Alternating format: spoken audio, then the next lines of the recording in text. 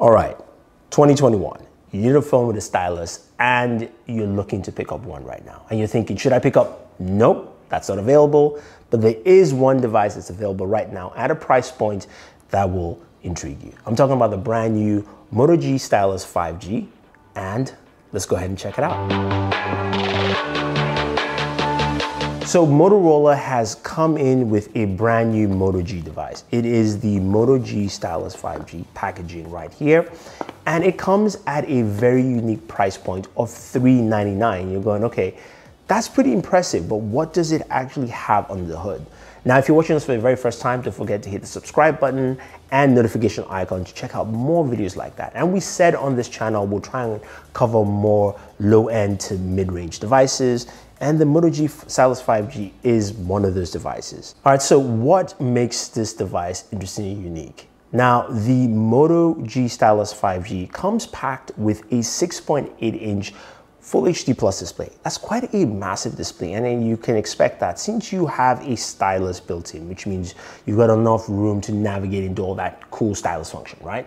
There's a front-facing camera, 16 megapixels, but you want to see the stylus. So it's actually lodged within the device and you hit the button and it pops right out.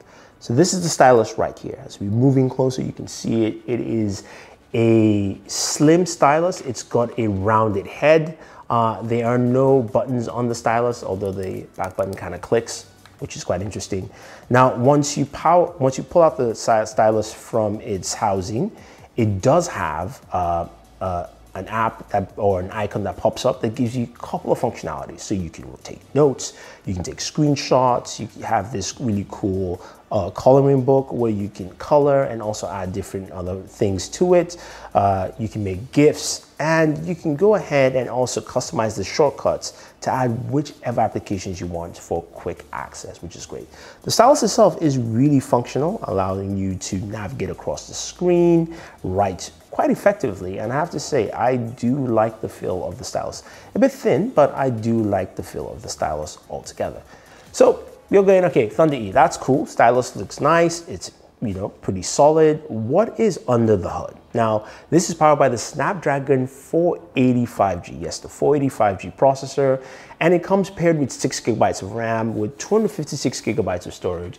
You can expand that via micro SD. So that's actually fine. Cool. Now, in terms of battery life, we're looking at two days which means that you're getting 5,000 milliamps within this device. Now, my experience with past Moto G devices states that they're probably close to the claims of two days because Moto G devices tend to last quite a while. Now, this is running a close to stock Android experience with just a few Motorola applications built in. The camera system is a quad camera system with a 48 megapixel sensor, aperture f1.7. You also have an ultra wide camera uh, macro lens and you're going macro again.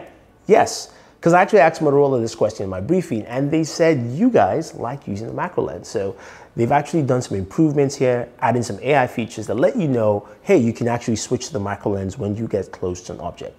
Now the camera does have some cool functionality. Besides the macro uh, lens, it also has a depth sensor, which allows for some of that, you know, color spot feature, meaning you can do color spot in both photo and video.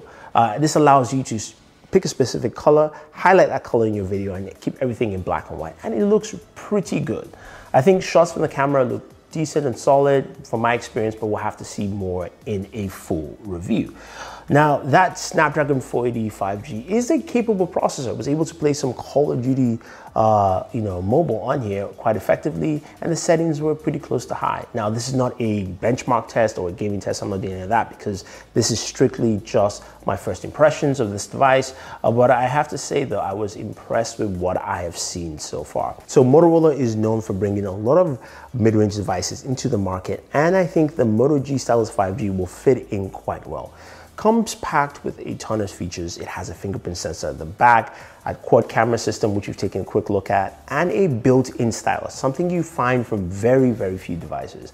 And I think that 6.8 inch display will give enough real estate for people to enjoy entertainment and content to the largest degree.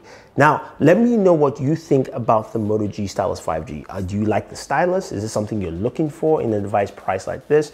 Do you think the performance will be good enough for what you want to do? Are you okay with the battery life? Whatever your thoughts are, leave them down below. Otherwise, guys, don't forget to like, share, subscribe, watch Daniel's videos, and enjoy your entertainment, because that's in the video.